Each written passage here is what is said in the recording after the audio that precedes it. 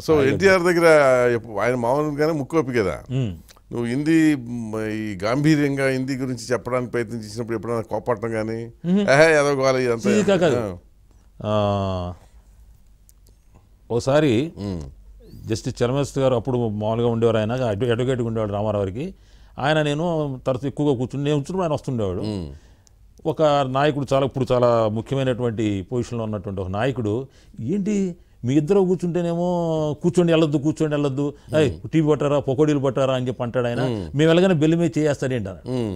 నేను నవ్వేశ్వరు ఎందుకు పెద్ద ఎందుకు బట్ ఆయన గారు ఏమీ లేదు. ఆయన సార్ తిరిగిరాడు. మా ఇద్దరి దగ్గర ఏదో ఉందనుకుని వీళ్ళతో కూర్చుంటే వీళ్ళ దగ్గర ఉంది ఏదో కొంచెం లాగేసుకోవచ్చు అని అనుకుంటాడు మీరు వెళ్తేనేమో ఆయన దగ్గర ఉంది లాక్కోవడానికి వచ్చి అనుకుంటాడు. అందరినీ బెల్లి మీద చేస్తాడు సో ఎందుకంటే రామారావు గారికి నేను ఆయనకి చెప్పింది ఏంటంటే సార్ హిందీ అనర్గళంగా మాట్లాడకుండా మనం ఏమీ చేయలేము అని ఆయనకు ఒక సూచన చేశాను. మీరు ఇన్ని పౌరాణిక చిత్రాలు నటించిన ఇంత గొప్ప పేరు మిమ్మల్ని నుంచి నార్త్ ఇండియాలో ఉత్తర భారతదేశం తెలియట్లా? అంటే ఏం చేయన్నాడు? మన చిత్రాలు డబ్బింగ్ చేసి హిందీలోకి వాటిని ఉత్తర భారతదేశంలో కొంచెం వదిలిపెట్టేస్తే మనం అనుకుంటే అప్పుడు ముందు మీ ఇమేజ్ అంత వస్తుంది. అని చెప్పానంటే తర్వాత ఆయన అంతకుముందు వేమూరు రాధాకృష్ణమూర్తి గారు స్పీచెస్ రాసిచ్చేవాడు ఈయన చదువుకున్నాడు వెళ్ళేవాడు చదివాడు అయిపోయింది. నేను వచ్చిన తర్వాత ఈ మన రాజస్థాను తర్వాత ఝాన్సీ గ్వాలియర్ అక్కడ కొన్ని ఎలక్షన్స్ వచ్చినాయి. దేవిలాల్ గారు డిప్యూటీ ప్రైమ్ మినిస్టర్ అవును. వస్తే నాతో ఈయన స్పీచెస్ రాయమన్నా రాయమంటే నేను ఏం చేశానంటే ఒక మాస్టర్ స్పీచ్ ఒకటి తయారు చేశాను. రామారావు గారి భావాలు అవన్నీ చెప్పించుకుని ఆయనతో ఈ పేద ప్రజలు ఇదంతా చేసేసుకుని ఆయన స్టైల్లో. ఆయన స్టైల్లో రామారావు గారి భా ఏది కావాలో అది తయారు చేసి ఒక ఎనిమిది చోట్ల ఈయన మాట్లాడాలి. ఎనిమిది చోట్లకి ముందు రెండేసి పేజీలు రెండేసి పేజీలు సపరేట్ ఎనిమిది స్పీచెస్ ఈ ఈ మెయిన్ స్పీచ్ ఇదే. అది ఇది ఏంటి అన్నాడు ఆయన? మీరు ఏ ఊరు వెళ్తే ఆ ఊళ్ళో. ఇది కావాలి సార్ అన్న. ఉదాహరణకి ఏంటంటే ఆయన ఝాన్సీ వెళ్ళాడు.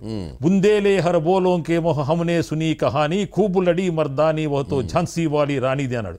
అసలు రామారావు గారి గొంతులో నుంచి ఆ ఉపన్యాసం అట్లా వస్తేస్తే ఇక ఝాన్సీలో ఉన్నవాడంతా ఓ ఏళ్ళలో చప్పట్లో పోయిపోతుంది తర్వాత ఏది మాట్లాడినా చెల్లిపోద్ది. అట్లాగే రాజస్థాన్ వెళ్ళేటప్పటికి రాణా ప్రతాప్ గురించి అవన్నీ కూడా చెప్పాం. అట్లాగే పాట్నా వెళ్ళాడు ఆయన. పాట్నా గాంధీ మైదానంలో స్పీచ్ అయింది ये पाटना इसी पाटना के गांधी मैदान में उन्नीस सौ बयालीस में नलभ लोकनायक जयप्रकाश जी ने रामधारी सिंह दिनकर की कविता जनता आती है सिंहासन काली करो అప్పుడు లోకనాయక్ జయప్రకాష్ నారాయణ గారు దినకర్ రాసిన ప్రజలు వస్తున్నారు సింహాసనం ఖాళీ చేయమని సమయక ఘరఘర నాదసును జనతా ఆతి హై సింహాసన ఖాళీ కరో అని అది స్పీచ్ అనమాట అప్పుడు దినకర్ గారిది. అది కోట్ చేసి రామారావు గారు మాట్లాడేటప్పుడు ఈ పాట్నా మైదానం జనమంతా లేచిపోయాడు ఆయన పేపర్ క్లిప్పింగ్స్ అన్ని హిందీలో మరుసటి రోజు వచ్చి నేను పట్టుకొచ్చి వాటేసుకుని బ్రదర్ చాలా సంతోషంగా ఉంది బ్రదర్. వెరీ హ్యాపీ అన్నాడు. సో అట్లా చేసుకుంటా వచ్చి హిందీ చదవటం రాదుగా మళ్ళీ పేపర్లో లేదు ఆయన చదవడం వచ్చేసింది ఆయనకి. వచ్చేసిందా? వచ్చేసింది. Oh, okay. కొంచెం బోల్డ్ లెటర్స్ అంతా వచ్చింది ఎడింగ్ల వరకు చదవటం నేర్చుకున్నాడు. నేర్చుకున్నాడు నేర్చుకున్నాడు. మాట్లాడటం టకటక అంటే అంతులేని ఆత్మవిశ్వాసం కదా. అట్లా మూడున్నర సంవత్సరాలు.